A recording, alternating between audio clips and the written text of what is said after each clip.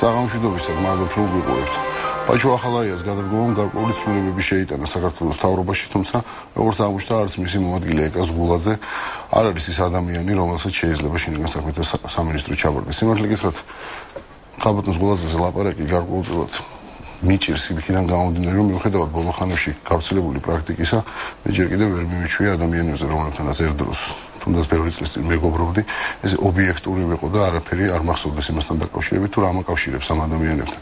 ეკას გულაძეს მე დიდი ხანია ვიცნობ და მასზე მხოლოდ საუკეთესო წარმოდგენა მქონდა, თუმცა ეს წარმოდგენა გარკვეულწილად შემეცვალა მას შემდეგ, რაც ის შინაგან საქმეთა ministris მოადგილის თანამდებობას დათანხმდა. ჩემი აზრით ესეთი ადამიანები, როგორც ეკა, ესეთ თანამდებობებზე არ უნდა მიდიოდნენ, მაგრამ ყველა თავის არჩევანს აკეთებს ცხოვრებაში და ეკამას თავისი არჩევანი გააკეთა, ღმერთმა ხელი მოუმართოს.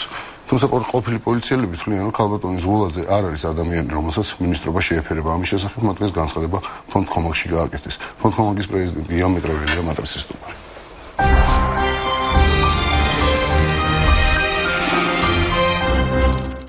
ამალო გულაძეებისთვის სულ სხვა რაღაცა მინდა ჯერ კითხო სანამ უშუალოდ გულაძემდე მივა. მე ზუსტად თქვენ დამოკიდებულება პოლიციის და საქართველოს სამართალ დამცველი. თუ ესე შეიძლება აწმას ეწოდოს სტრუქტურების მიმართ. როგორ როგორ გადაიტანეთ ესა თუმცა იცით ალბათ თავარი ის არის რომ არ შეიძლება ყველა ერთ ასპექტში მოიხსენიოთ, იქ არიან ადამიანები, ნორმალური ადამიანები. რომ არიან. კი, აუცილებლად. ისე როდესაც მე იმ კადრებს უყურე, მე დამჭირშთავებწრები რომ ყველა ყველაფერი იცოდა, ეს ჩემი პირადი შთაბეჭდილება. წარმოუდგენელია, რომ გვერდზე ოთახში ხდებოდეს ესეთი რამ და შენ ეს არ ხომ ეს გაგონი. ანუ სულ მინიმუმ საჯელაცნობის გაგონილი ქონდათ. როგორც ყველაფერი იცოდა ალბათ ხო როგორც ყველას ასევე მეც 8 წელიწადია სწორედ აი ამ პატიმრების უკიდურესი მდგომარეობის გამო ვდგევარ ქუჩაში იცით რა არის ის რომ მე ჩემშულს ვერავინ ვეღარ დამიბრუნებს და ჩემი მდგომარეობა ყოველთვის კარგად არის ცნობილი და დაამთავრეს ყველაფერი ჩემთვის. მე სწორედ აი რო ვიცოდი რა მდგომარეობაც იყო საპატიმროებში არაერთი ოჯახი ჩემს გარშემო არის განადგურებული და გაუბედურებული. თუნდაც შემიძლია დავასახელო მამუკა ზერიკიძე რომელიც ჩარშან სწორედ ახლა იყო წლის თავი ეს ახალგაზრდა სიცოცხლით სავსე 45 წლის კაცი წამებით გამოასალმეს ციხეში სიცოცხლეს და დაიჭირეს სიგულისთვის. ჯერ დაუჭირეს ბავშვი 14 წლის და შემდეგ პრეზიდენტმა არაპატია ის რომ ეს კაცი აქტიურად იდგა ქუჩაში და აპროტესტებდა ამ უსამართლობას.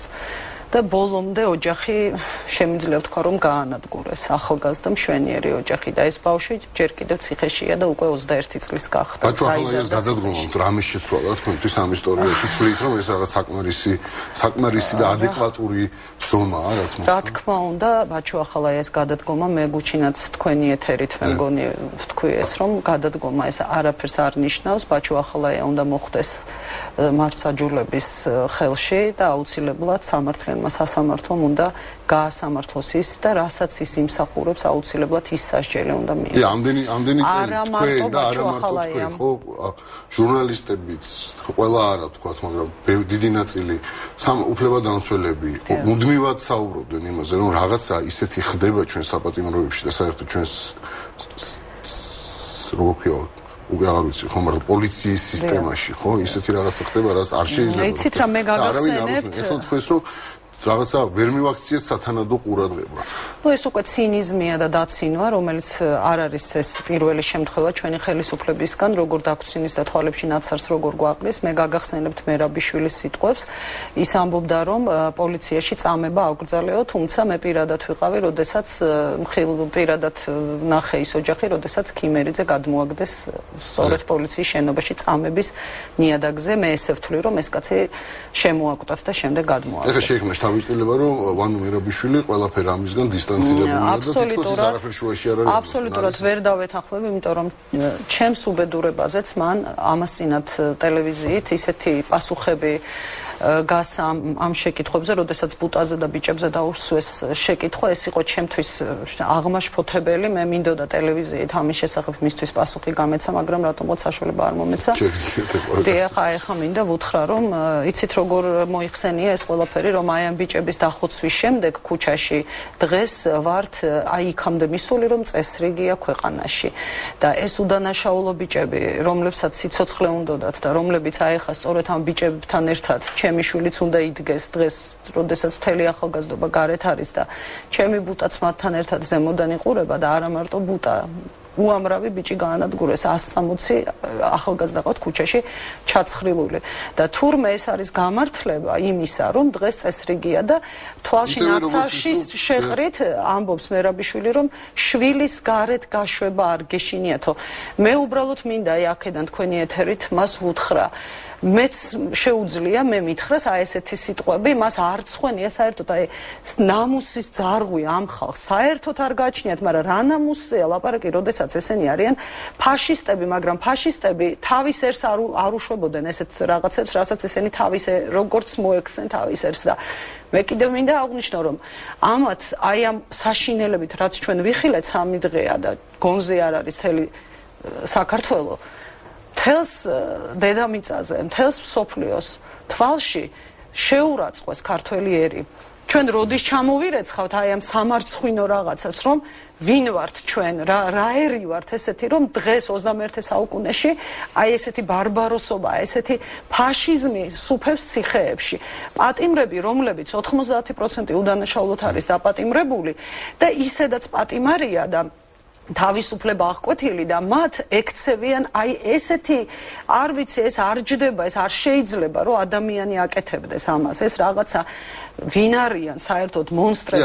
რა გადაყენებაზეა ლაპარაკი ესენი უნდა გასამართლდნენ მერაბიშვილიდან დაწყებული და მე არ მინდა გამომრჩეს რომ ბუტას დროს იყო ოქრუაშვილი ministri და ოქრუაშვილსაც დიდი წვლილი მიუძღვის აი ამ სისტემის ესეთ ჩამოყალიბებაში. მათ ყველამ ერთად შექმნეს ეს ჯოჯოხეთური სისტემა რაც ემყარებოდა იმას რომ ხალხი ყოლოდა დაშინებული და მართვადი და რაც უნდათ ის გაეკეთებინეთ შემდეგ მოსახლეობისთვის და მიაღწიეს ბოლო პერიოდამდე ისეთი შიში ჩათესეს რომ მე არ ვიცი რა გვეშველებოდა ალბათ ბატონი ბიძინა ივანიშვილი რო არ გამოჩენილიყო საერთოდ იმედი აღარ არსებობდა ქვეყანაში. თუმცა დღეს დაენგრათ ყველაფერი და ეხლა ცვლილებებზე მინდა კითხოთ გიორგი ტობუში საჯელახსულების მინისტრად და ნუ ხალბატონი ეკა როგორც ჩანს დროებით მაინც მინისტრის მოვალეობის შემსრულებლად მინდა გითხრათ რომ ტუღუშის აქციელი ჩემთვის ძალიან გასაკვირია და მე რა თქმა უნდა არ მიმაჩნია ეს რომ საერთოდ მან პირადად იცოდა შიგნით რა ხდებოდა და აი ამ ხელისუფლების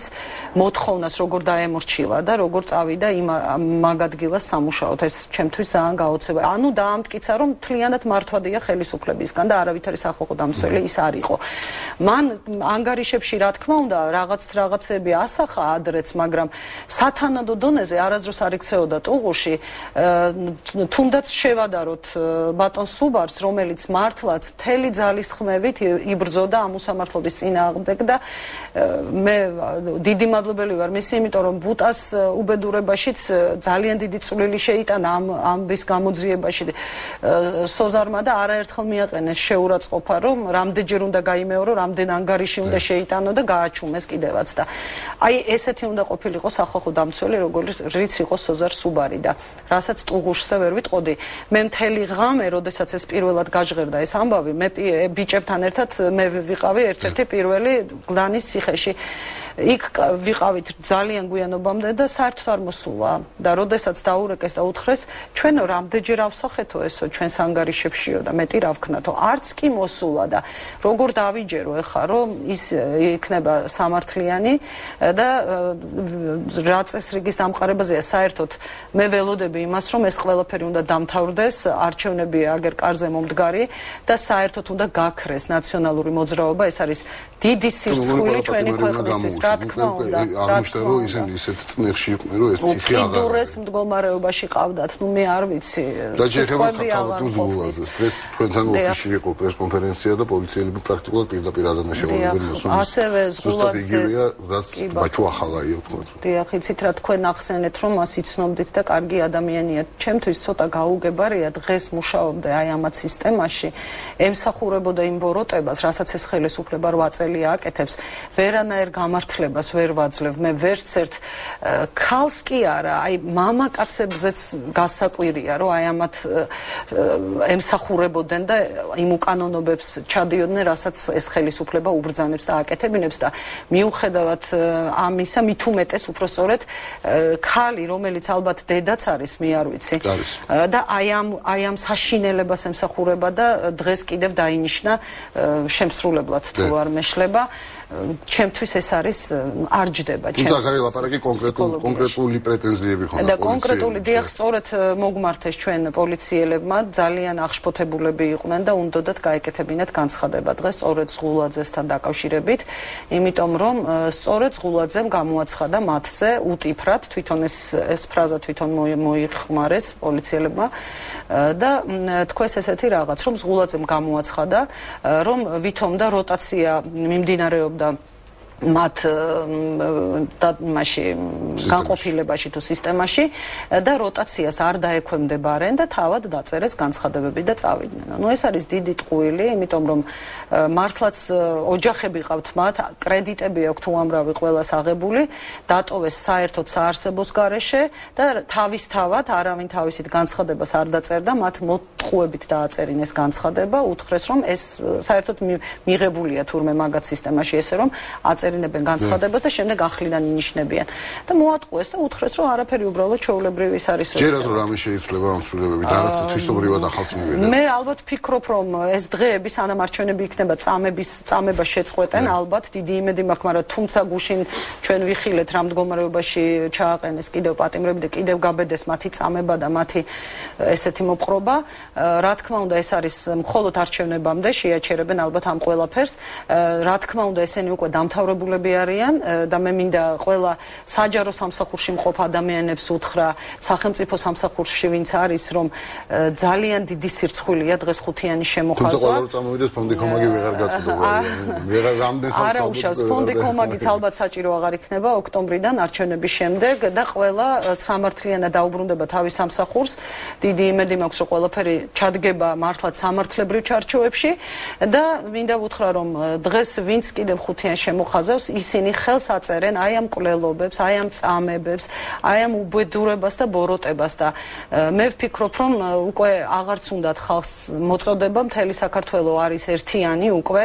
აი ეს კოორდინატორებიც კი ისინი ვინც ამათი მომხრეები იყვნენ ისინიც კი შეზარა იმ იმ ფაქტებმა რაც იხილეს ტელევიზიაში. მე მე გავიგე ესეთი ამბავი უბრალოდ ეთერში შემოსვლის წინ რომ არ ვიტყვი ხა ერთ-ერთ უბანში თბილისში ნაციონალური მოძრაობის შტაბინა საარჩევნო შტაბის პატრონმა, ანუ ვიღაცისგან ვინა ქონდათ ნახირავები, გააძევა ისინი უბრალოდ მათი ნახირავი პარტიდან და უთხრა არ მინდა თქვენი გული. აი ზუსტად ესეთი ერთსულოვანი უნდა გახდეს მთელი საქართველოს აი ამ ბოროტების წინააღმდეგ, რასაც წარმოადგენს ნაციონალური მოძრაობა. და ჩვენ მივდივართ უკვე დასასრულისკენ, ჩვენ კი არა უბრალოდ ნაციონალური მოძრაობა მიდის დასასრულისკენ.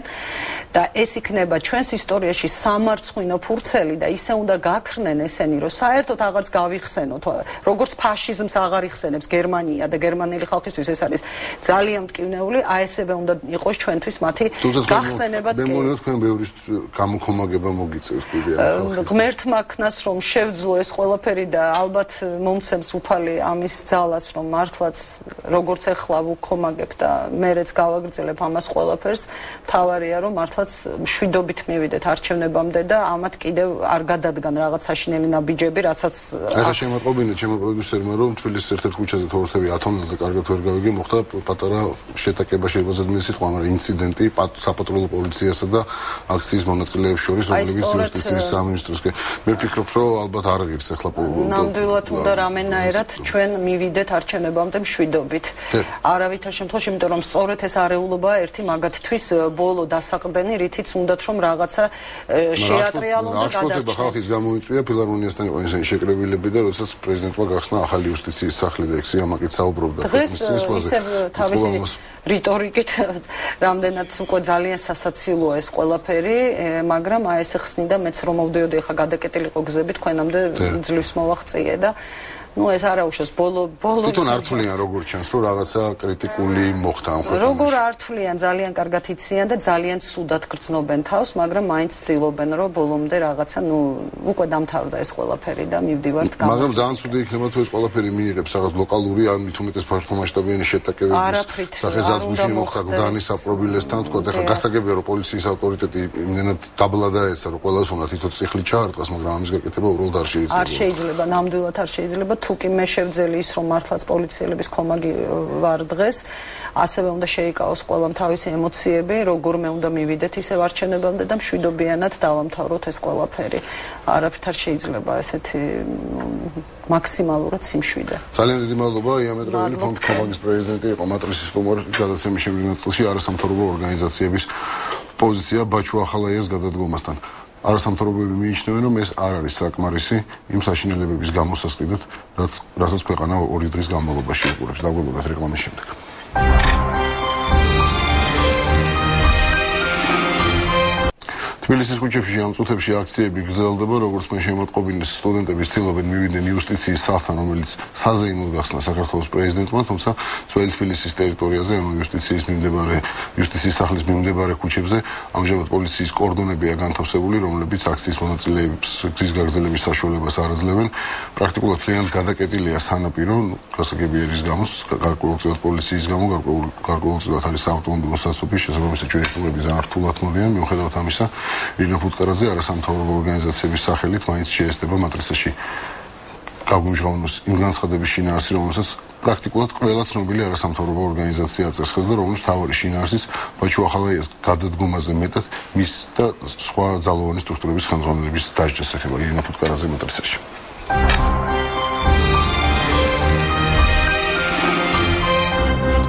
საღამოშიდობის ეირნა მადლობა მოგზაურობისთვის. პირველ რიგში მინდა მოგილოცოთ ახალი იუსტიციის სახე გვაქვს თბილისში. დიდი ამბავი და კარგი ამბავი გვაქვს ესე. კი.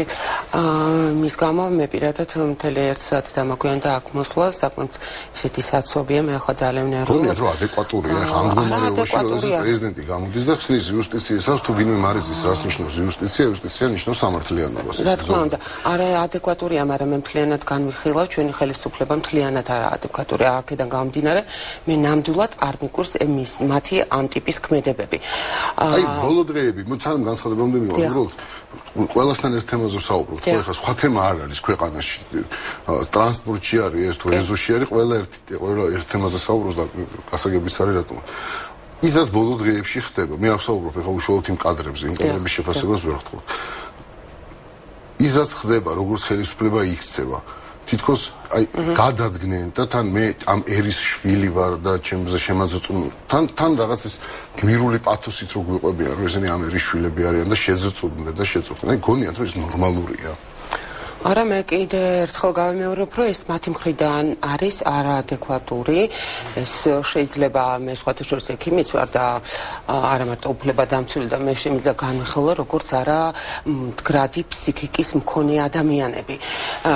და ალბათ ძალიან კარგი იქნება ფსიქოლოგი ფსიქოლოგები თუ ცალკე შეფასებას გავწევენ გააკეთებენ ამ ადამიანების ფსიქოტიპებზე საერთოდ ვინ არიან. თუ აი დღეს წავიდე გიანდოდიას განცხადება რომელიც ამბობს რომ რა თქმა უნდა ნაციონალური მოძრაობა მოსახლეობა არ იმსახურებს იმას, რომ მისი ხმა მიიღოს, მაგრამ სხვა არჩევანს მაინც ვერ ხედავს.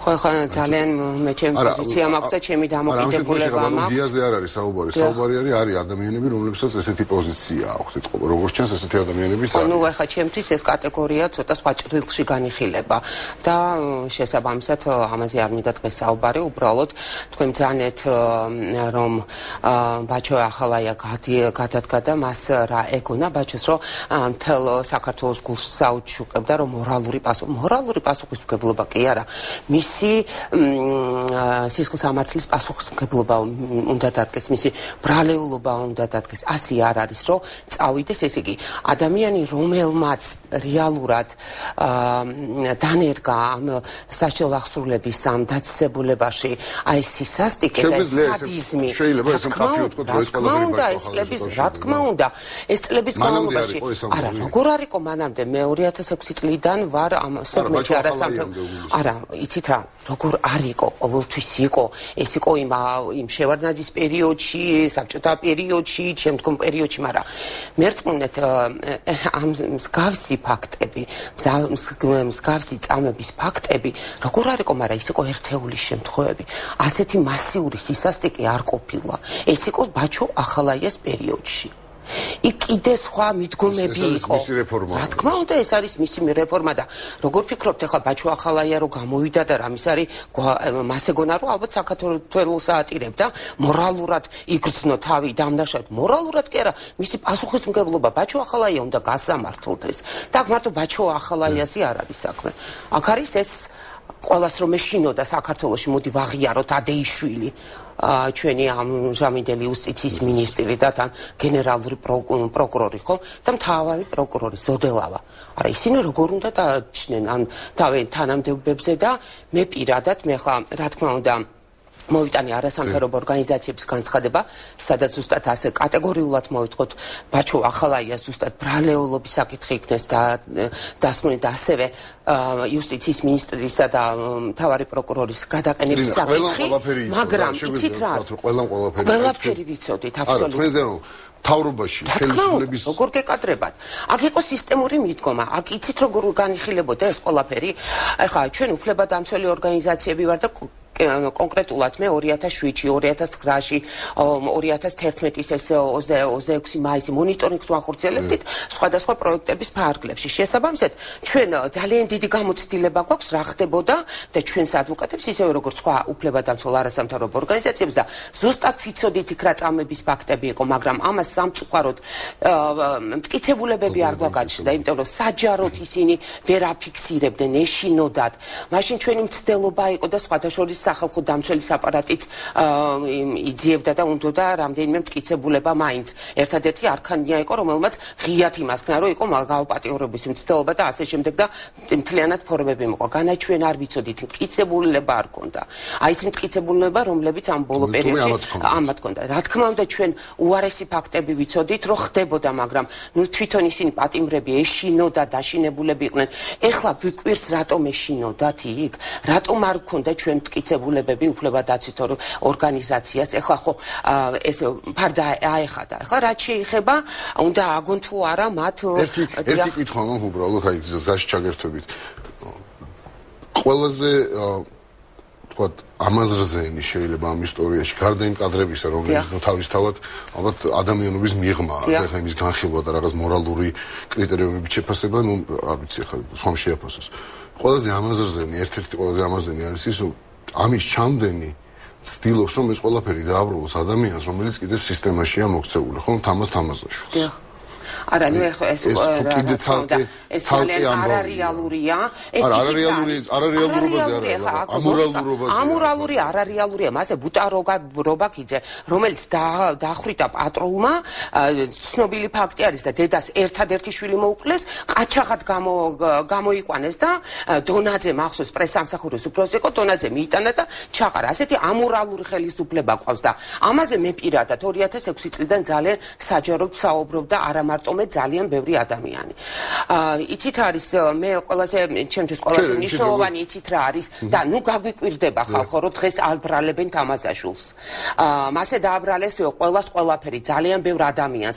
რეალურად ყველანი ვიყავით შეურაცხყოფილი და მთლიანად საქართველოს მოდით რა გულახდილები ვიყოთ რა დამონებული იყო მთლიანად საქართველოს. ყველაფერი გაზიოდა ამ ხელისუფლებას. აი ზუსტად დღეს იმიტომაც ვაყენებთ ჩვენ ბაჩო ახალაიას პასუხისმგებლობის ბრალეულობის საკითხი უნდა აუცილებლად დადგეს და ზუსტად სისხლის სამართლის პასუხისმგებლობის საკითხი უნდა აღიძრას და აი ზუსტად უნდა მან მოიხადოს, ოღონდ მე პირობას ვაძლევ ბაჩო ახალა ესე ჩვენ და დავიცავთ მის უფლებებს. არა, არა, ამ შემთხვევაში იცით, იმიტომაც ვითხოვთ. რო არ უნდა ყოველასთვის საშიში და ყოველასთვის ისეთი მიუღწევალი, მიუღწევადი, ნუ რა ვიცი ახლა მონსტრი ადეიშვილი არ უნდა დარჩეს თავის თანამდებობაზე. არ უნდა დარჩეს მუხთა ზოდელავა. არ უნდა დარჩნენ ესენი. უნდა შეიქმნას კერძო ჯგუფი, საგამოძიო ჯგუფი, რომელიც გამჭირვალეთ იმუშავებს და ზუსტად აი ამათ ამ ჩვენ ბატონებს უნდა ვაგებინოთ პასუხი. იგივე ადეიშვილს თელ საქართველოს ეშინოდა გავხსენოთ ადეიშვილის. თელ საქართველოს გვავიწყდება ეს? მთელი ბიზნესი დააჩოქა ამ ერთმაცი და ადამიანმა. დღეს ეს უპატიებელი ამას არავინ არ აპატაიებს. არავინ და მათი მხოლოდ მორალური პასუხისმგებლობით გადაყენება დღეს არაფერს არ ნიშნავს. სოფლიოა შეძრული. ჩვენ გვიკავშირდებიან ჩვენი პარტნიორი ორგანიზაციები, საერთაშორისო ორგანიზაციები, ჩვენი უცხოელი კოლეგები აბსოლუტურად შოკირებულები არიან. ნუ გვეჭრა თავი როგორც ამბობთ. ნუ რა თქმა უნდა, რა დემოკრატიაზეა, ფასადურ დემოკრატიაზე საუბარი. იცით რა არის? მე პირადად, მე პირადად, როგორც უფლება დამცველი, რომელსაც ძალიან დიდი ხანია გული მткиვა და ვიცი რა ხდება. მე პირადად მაგალითად ამ წუთას დავაყენებდი პრეზიდენტის იმპიჩმენტის და არ ვიცი ყველაფრის საკითხს. დღეს ეს ხელისუფლება აღარ უნდა ყავდეს საქართველოს. აღარ უნდა ყავდეს. და ნუ გვიკვირს თქვენ რომ მკითხეთ რომ აი რამდენად მორალური და რაღაც და რამდენად ლოგიკურია რა ლოგიკაზე ვსაუბროთ ჩვენ არა არა ლოგიკური და ამორალური ხელისუფლება ყავს საქართველოში აი ესენი მართავენ დღეს აი როგორ იქნება იცით რა არის მე ვფიქრობ რომ ეს ამას ასე მარტივად არ დაესმება ძალიან ბევრი ძალიან ბევრი ადამიანი თქო ვინც დღეს ხელს იცით რა უკაცრავად ბოდის ვიხდი. არასამთავრობო ორგანიზაციების გარკვეული ნაწილი რომელსაც საკმაოდ სერიოზული იმიჯი აქვს საერთაშორისო დონეზე. და მათ სიტყვას აქვს გარკვეულწილად გადამწყვეტი თუ არა ყველა ითვალისწინებს ამ ტიპის არასამთავრობოებიც კი დღეს აკეთებენ რადიკალურ განცხადებას. აი ერთ-ერთი რადიკალურ განცხადება არის ეს, რომლებიც მოითხოვენ ბაჩო ახალაიას ზუსტად ამ დალეულობის საკითხის დაყენებას. თუ არ შესრულდა თქვენი მოთხოვნა მე რა? რა იქნება მე თქვენი შემდეგი ნაბიჯი? არა, ჩვენ რო არ გავჩერდებით ზუსტად ვიცი და აბსოლუტურად ლოკალურ ძალიან ტკივნეულ დარტყმას მივაყენებთ ხელისუფლებას. ყველა დონეზე, ყველა საერთაშორისო დონეზე, ყველაფერს გავაკეთებთ რომ ეს ხელისუფლება ცივილურად, მაგრამ შეიცვალოს. თქვენ თვლით რომ ამ ხელისუფლებას უკვე აღარანაირი უფლება არ აქვს? არანაირი უფლება არ აქვს. არც კონსტიტუციური, არც მორალური უფლება არ აქვს, რომ დღეს ხელისუფლება დარჩეს. პრეზიდენტი დღეს იუსტიციის სახლს კი არ უნდა ხსნიდეს. არამედ უნდა იმაზე ფიქრობდეს, ქვეყანას უნდა უნდა მოუხადოს სახალხოდ ბოდიში და უნდა წაბძანდეს თავის მთავრობასთან ერთად. მე მოსახლეობას მეძლევა საშუალება და მინდა უთხრა, რომ აა მიუხედავად იმისა, რომ მოსახლეობისგან განსხვავებით ჩვენ არასამთავრობო ორგანიზაციებმა და განსაკუთრებით უფლებადამცველმა ორგანიზაციებმა ძალიან ბევრი ფაქტი ვიცოდით. ძალიან ბევრი ტკივილი ვიცოდით ჩვენი პატიმრების. აი ეს იყო ბოლო წერტილი და მე შემიძლია ხმამაღლა გამოვაცხადო. ბოლომდე ვიბრძოლებ სანამ არ შეიცვლება ეს ხელისუფლება. უბრალოდ აქ საუბარია, რა თქმა უნდა, ცივილურ მიდგომებზე და მეთოდებზე. ძალიან დიდი მადლობა. რომელმა ადამიანმა უნდა მიცეს დღეს მათ ხმა? უბრალოდ ძალიან მაინტერესებს. მისთვის, ვისაც სურს მისთვის ხმა არჩევანს არჩევნის თავისუფლება ქვეყანაში. დიდი მადლობა ირინა ფოტკარაძე იყო მატრისის სტუმარი გადაცემის შემდეგ წელს განვდობ საუბარს არასამთავრობო ორგანიზაციების პოზიციაზე. არასამთავრობო ორგანიზაციათა ერთი ჯგუფი საქართველოს ხელისუფლების მიმართ ეგრეთ წოდებული მაგნიცკის სიის შედგენას ითხოვს. თუ იმ არის ის ასნიშნავს მაგნიცკის სია, ეს არის სია იმ რუსი ჩინოვნიკებისა, რომლებიც რუსის უფლებადამცველების აზრით მონაწილეობდნენ ალექსანდრე მაგნიცკის კვლელობის საქმეში და რომლებიც პერსონა ნონ გრატად გამოცხადდა პრაქტიკულად თელ სოფლიოში. ვინ უნდა იყოს პერსონა ნონ გრატა საქართველოს დღევანდელი ხელისუფლებიდან არასამთავრობო ორგანიზაციების აზრით? მაგრა პოპიაშვილი მატრიცაში რეკლამის შემდეგ.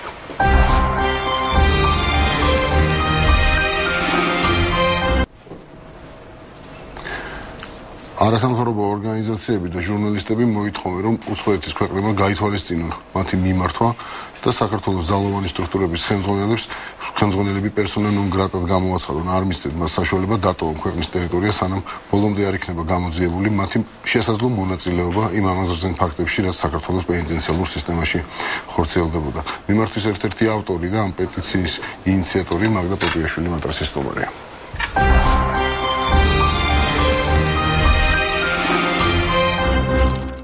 მაგრამ საღამოშიდობის ამასთვის ჯესანამ უშუალოდ პეტიციაზე გადავალთ მინდა ერთი კითხვა ერთი რამ კითხოთ როგორც ადამიანს რომელიც ჟურნალისტიკაში ბევრი წლის განმავლობაში მუშაობს. ხშირად იყო ლაპარაკი თქვა რომ მეცხრე არქი მაესტრო კავკასია გაზეთები ოპოზიციური აა მედია საშუალებები არიან და რაღაცას უკუღმა აშუქებენ ქვეყნის დიდ წარმატებებს. დაასრულა თუ არა იმ სამი დღის წინ გავრცელებულმა კადრებმა მითი იმის შესახებ, რომ ქვეყანაში რაღაცა კარგისკენ მიდის, რაღაცა შენდება და ჩვენ ვართ ოპოზიციურები და ჩვენ ვართ ადამიანები, რომლებსაც არ გვიხარია ქვეყნის წინსვლა. საერთოდ პირველი ობიექტურად რა მოხ, ობიექტურად რა მივიღეთ? პირველი ის რომ ამ ქვეყანაში რატომღაც სალანძღავს სიტყვა და აქცია ხელისუფლებამ სიტყვა ოპოზიცია. უკაცრავად მედია საშუალება რუსთავი ორის და იმედის მაგვარი უნდა იყოს, რომელიც უაპელაციოდ იღებს ყველაფერს და აშუქებს ისე, როგორც მათ უფროსებს ჭირდებათ. ეს არის მათთვის ტელევიზია და ზოგადად მედია და მედია საშუალების საქმიანობა. იმან რაც გავრცელდა და რაც ვნახეთ, ერთხელ და სამუდამოდ დაადასტურა ის, რომ ამ ქვეყანაში საჭირო არის არსებობდეს სწორედ თავისუფალი მედიები და იმავე რუსთავი ორს და იმედს რომ არ გაეკეთებინა თავის დროზე არჩევანი როგორც გააკეთეს ამ ქვეყანაში აქამდე საქმე არ მევიდოდა დიდწილად დამსახურება იმის რაც ხდება დღეს არის სწორედ იმ მედია საშუალებების და იმ ჟურნალისტების რომლებიც მონებად იქცნენ ამ ხელისუფლების და უარი თქვეს საკუთარ პროფესიას თუმცა ეს ჟურნალისტმა ესე ვთქვათ, გახსნა ეს ყველაფერი და ინაშვილმა ერთმა ადამიანმა. კი, როგორც ჩანს, სწორედ სწორედ იქიდან მოუბრუნდა რის ჩაკლას და უბრალოდ გაქრობასაც ამდენი წლის განმავლობაში ლამობდა ხელისუფლება.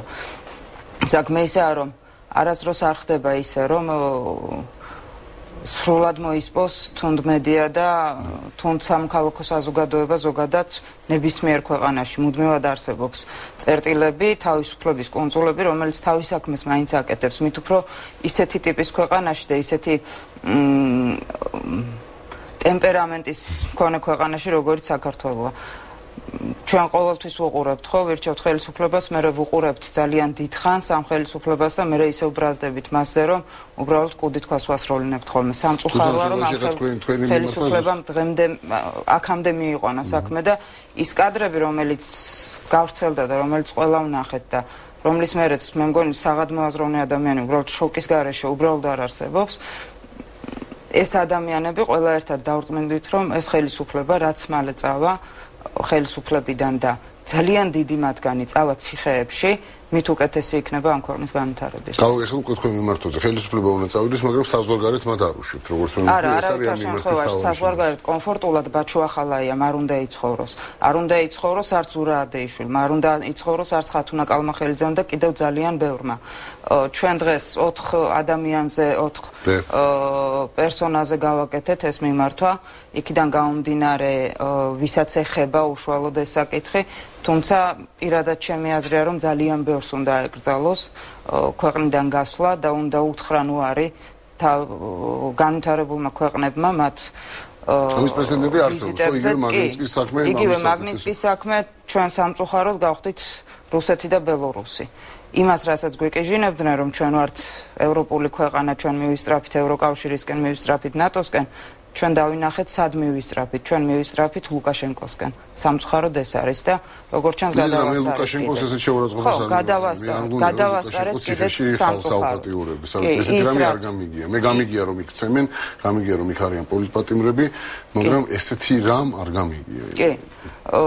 დღეს ჩვენი მიმართვის ადრესატები იყვნენ სწორედ ამერიკის შეერთებული შტატების მთავრობა და ევროკავშირის ხელმძღვანელობა 56-მა 16-მა ადამიანმა აქ არიან როგორც არასამთავრობო ორგანიზაციების წარმომადგენლები, მედია ორგანიზაციების წარმომადგენლები, მომღერლები, უამრავი ადამიანი დღეს გავაკეთეთ მიმართვა და ვითხოვთ აი ამ ქვეყნებისგან, რომ როგორც მინიმუმ იუსტიციის ministrs, თავარ პროკურორს სასჯელ აღსრულების ყოფილ მინისტრს და შინაგან საქმეთა ყოფილ მინისტრს აეკრძალოთ მათ ქვეყნებში ჩასვლა სანამ არ მოხდება ობიექტური და სრული გამოძიება იმის, რაც როგორ მუშაობს ეს სისტემა? მე მაგდა უბრალოდ არ ვიცი 56 კაცის ხელმოწერა საკმარისია თუ თქვენ აპრილში ხელმოწერები გრძელდება რა თქმა უნდა, რუსეთში როგორ გააკეთეს თუმცა ამას მნიშვნელობა არ აქვს, რამდენი ადამიანი მოაწერს, არ არის აუცილებელი მასობრიობა, თუმცა ხელმოწერები გრძელდება და ვისაც სურვილი აქვს შემოერთების იქნებიან ეს ფიზიკური პირები თუ ორგანიზაციები მათ შეუძლიათ დაგვიკავშირდნენ და შემოუერთდნენ ამ მიმართვას ჩვენ ხვალ საღამოსთვის უნდა გავაგზავნოთ უკვე მიმართვა ოფიციალურად ჩავაბარებთ როგორც ევროკავშირის საელჩოს ისე ამერიკის შეერთებული შტატების საელჩოს და დაველოდებით მათგან პასუხს. ეს არის მათი პოლიტიკური გადაწყვეტილება. მაგრამ აპატირო გაწყვეტინეთ, მაგრამ ჩემთან მოვიდა ახლა მეუბნებია რომ იუსტიციის სახლის მიმდებარე ტერიტორიაზე რაღაც დაპირისპირება მოხდა სტუდენტებსა და პოლიციას შორის და სატელეფონო ხაზი შეგვიძლია ჩავთ ჩვენი კორესპონდენტი ხათუნა კარდავა ხათუნა საღამომშვიდობისა რა ხდება ეხლა სად ხართ და რა ხდება მან ხათუნა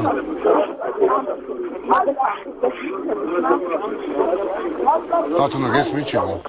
ხათუნა პირდაპირ ეთერში ხარ, ხათუნა სამშვიდობისა, სად ხარ და რა ხდება? გავრცელდა ინფორმაცია, რომ პოლიცია და სტუდენტები ერთმანეთს ფიზიკურად დაუპირისპირდნენ. ასეთი რაღაც ინსტიტუტი,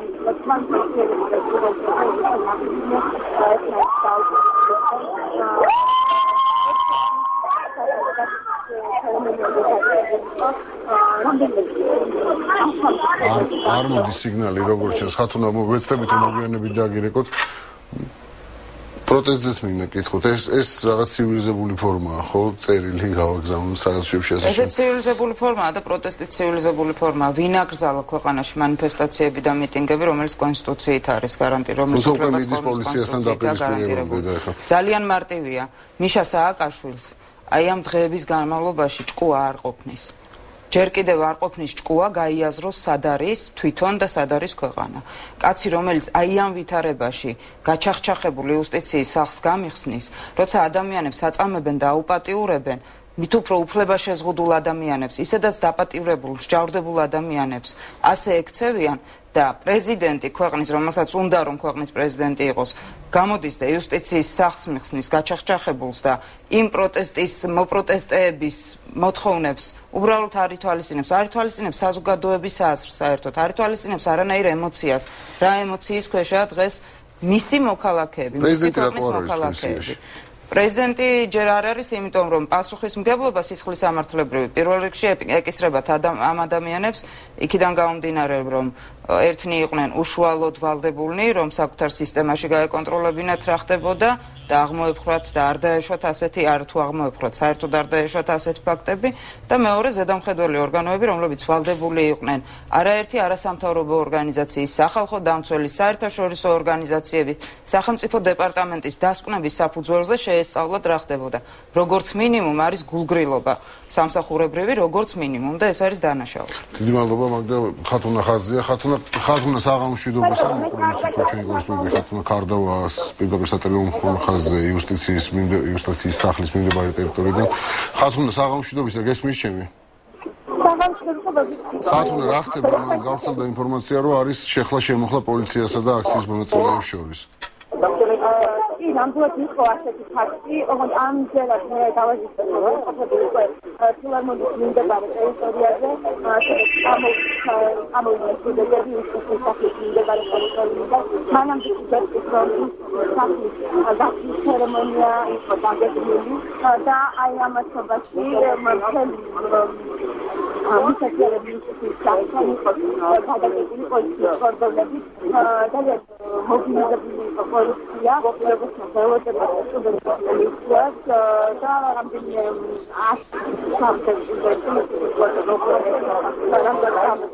როგორც ჩანს რაღაც პრობლემაა სიგნალთან დაკავშირებით ხომ არ გამოდის? მაგრამ თქვენთან ერთად მე მინდა საქართველოს პოლიციას ესეთი ჩემი პირადი თხოვნა მაქვს პოლიციის მიმართ რომ სანამ არ გაირკვევა ყველაფერი რა საქართველოს ციხეებში ხდებოდა, უბრალოდ არავინ არ დაიჭირონ, იმიტომ რომ იფიქრონ იმაზე, რომ ისინი დამნაშავეს საკადრის სასჯელისთვის კი არ წირავენ, არამედ აი ამისთვის წირავენ, ესე ვთქვათ რა. და გარდა ამისა, მათ არ არ მოუწოდებ ამ ამით, რომ ხალხმა დაიწყოს ქუჩების დარბევა და პოლიციამ არაფერი არ აკეთოს, მაგრამ სტუდენტებს, რომლებიც თავის საპროტესტო საპროტესტო აქციას აქციაში მონაწილეობენ, ხულიგნობის მუხლით, ნუ დაიჭერენ და ნუ გააგზავნიან იქ, რაც ციხე კი არა ჯოჯოხეთი ყოფილა. ჩვენ ნახეთ 3 დღეა, 4 დღეა ვუყურებთ სტუდენტების აქციებს, რომლის დროსაც ისინი აბსოლუტურად მშვიდობიანად გამოთქვამენ საკუთარ პროტესტს, აყენებენ საკუთარ მოთხოვნებს და მათ აქვთ ამის სრული უფლება.